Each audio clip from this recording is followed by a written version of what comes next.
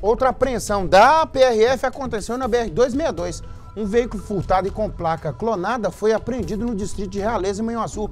É, e é outra delegacia da PRF que constantemente está aparecendo aqui também com apreensões, né? O Lucas vai contar desse caso pra gente. Por favor, Lucas.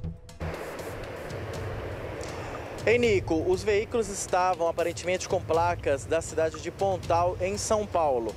Após uma verificação aí minuciosa dos policiais nos elementos de identificação do veículo, foi observado que havia ali indícios de adulteração.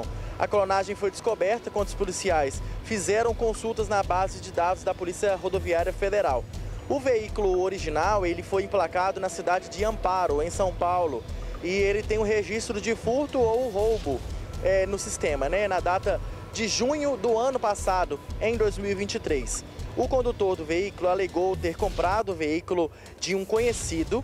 É, ele fez uma, uma troca entre o carro dele avaliado em 55 mil reais, fica faltando ali 42 mil reais para serem pagos, segundo a vítima, mensalmente por meio do Pix. Eu chamo de vítima, né, aquele que estava com o veículo, porque se a, a história dele alegada aos policiais foi uma história verídica, ele acaba que foi enganado, mas é claro que infelizmente se uma pessoa a gente sabe pela legislação, se uma pessoa foi abordada ali é, conduzindo um veículo que foi que é né, adulterado, clonado e foi produto de furto e roubo, ele acaba respondendo por isso, né? Ele foi de, detido, o veículo foi detido, a, o homem também que estava dirigindo, foi de, foram, foram detidos os dois, encaminhados até a delegacia de polícia civil de Manhuaçu. Eu volto com você, Nico.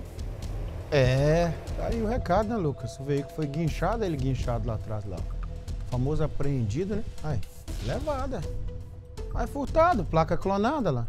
Placa que pertence a outro veículo. É. E aí o sujeito todo enrolado. É que o Lucas falou ali, né? Aí vai conta uma versão, mas essa versão tem que bater, né? Aí vai perguntando, o outro pergunta também. Se ficar tudo certinho, ok. Tchau, obrigado. Se não, ó, tem uma mentira aqui que tá cheirando mentira. Pronto. Aí tá todo enrolado. Obrigado, Lucas.